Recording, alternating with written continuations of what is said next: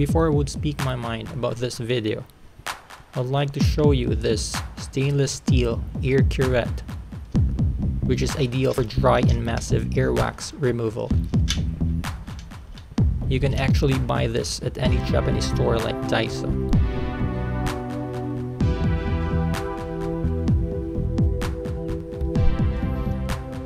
And now this is a case of a 24 year old woman who complains of ear pain and ear deafness in her right ear.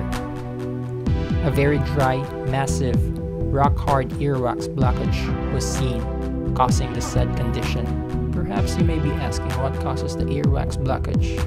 She later confessed that she has never cleaned her ears. Earwax extraction using this ear curette is very effective. Just slowly and gently apply a little pressure while doing the extraction.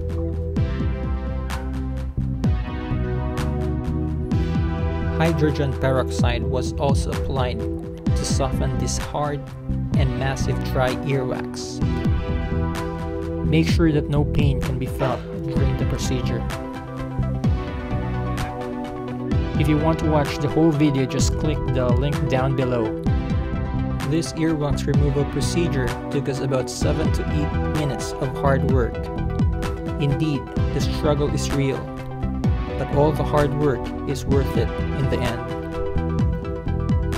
Look at this.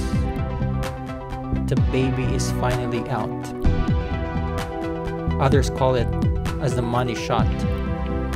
But all I can say is that it was indeed a success.